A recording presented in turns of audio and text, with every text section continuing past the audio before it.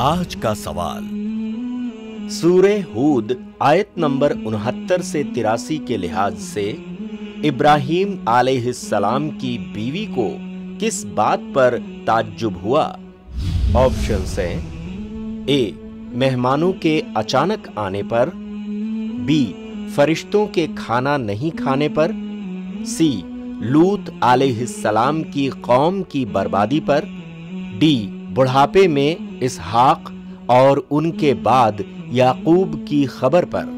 जवाब देने के लिए I plus TV app download करें और क्विज सेक्शन में जाकर जवाब दें। इंशाला इस सवाल का सही जवाब और इनाम पाने वाले का नाम ईद बाद बताया जाएगा। तो जल्द से जल्द सही जवाब देकर इनाम के हकदार बने।